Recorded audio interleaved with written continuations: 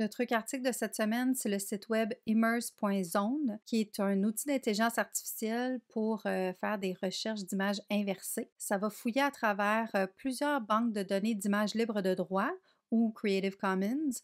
Donc, on va pouvoir s'assurer que les images, on pourra les utiliser dans nos euh, différentes publications. Ça nous évite aussi d'avoir à aller faire les recherches individuellement dans chacun des sites comme Pixabay, Unsplash, Pexels, etc. Que ce soit pour trouver une image en particulier ou pour trouver une série d'images sur un thème, Immers.zone, c'est vraiment pratique. Je vais commencer par faire une recherche par mots-clés. Disons que je suis sur un thème médiéval et je veux des châteaux. Donc, je vais trouver une série de photos dont je pourrais me servir.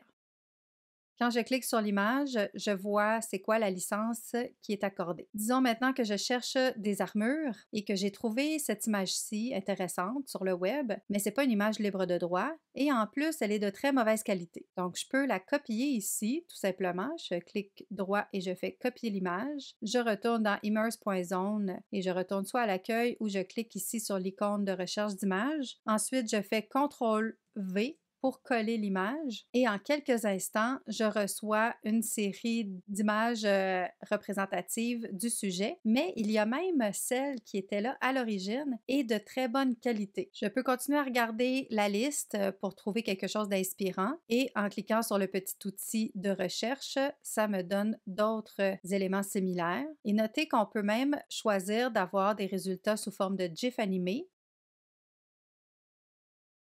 et sous forme de citations. Toutefois, les citations sont toutes en anglais, mais c'est assez intelligent pour comprendre le sujet de l'image. On peut chercher aussi en dessinant tout simplement un croquis.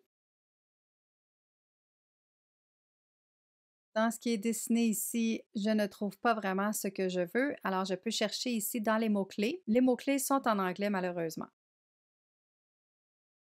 Enfin, sachez que vos recherches récentes sont conservées, alors vous pouvez rapidement retourner à une ancienne recherche pour retrouver les éléments que vous aviez obtenus précédemment. Immerse.zone, c'est un outil qui va vous permettre d'épargner beaucoup de temps dans vos recherches d'images pour vos présentations et vos différentes ressources et j'espère que ce truc article vous a inspiré.